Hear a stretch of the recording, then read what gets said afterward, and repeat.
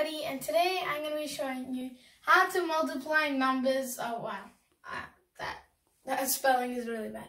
Okay, how to multiply numbers whose end digits add to 20, 30, 40, 50 or 60. I the, the title actually sucks so just ignore the title. It's the worst title ever. But um okay. So let's, let's get started. Um, so for example, what, what I mean by end digits adding to 20, 30, 40 is, for example, you could have 230 times 204, oh, no, not 40, let's do 210.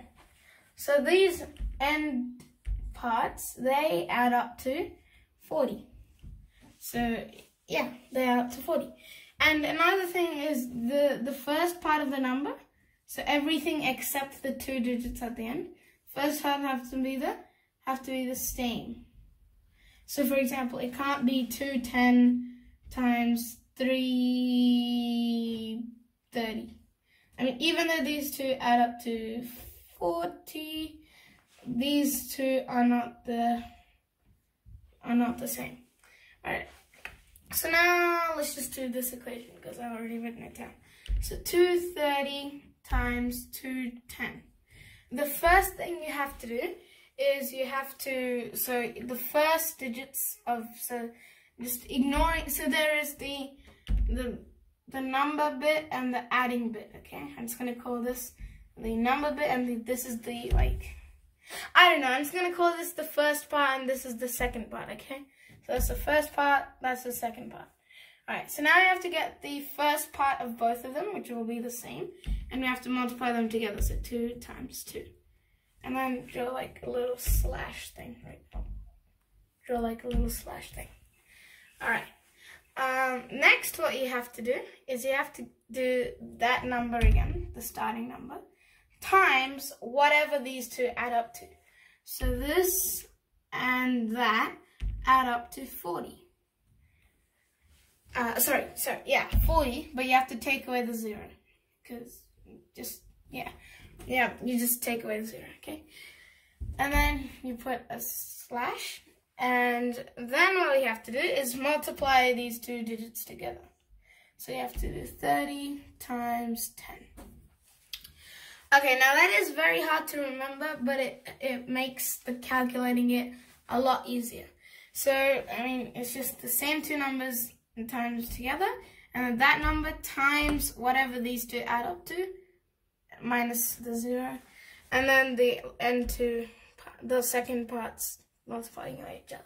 So now if we do that, equals 4 slash 8 slash 300. So the answer would, to that would be 48,300.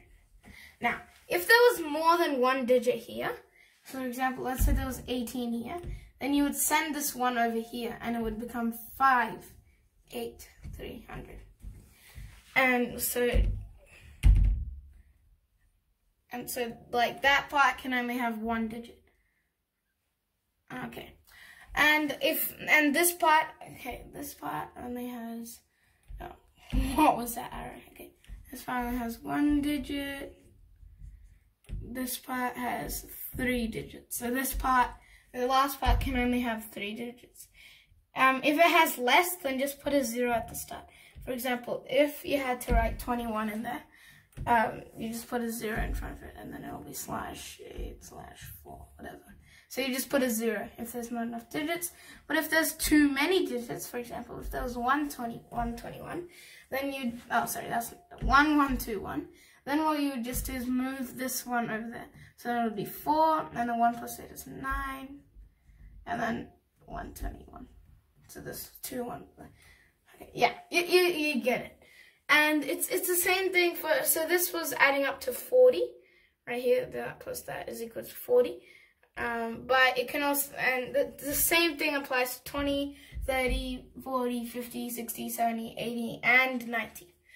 So that's basically it for this video. And oh, and just to make sure that was the answer to that question and that question. Alright, so if you like this video, please make sure to hit the like button, which is right down there, as well as the subscribe button, which is right next to it.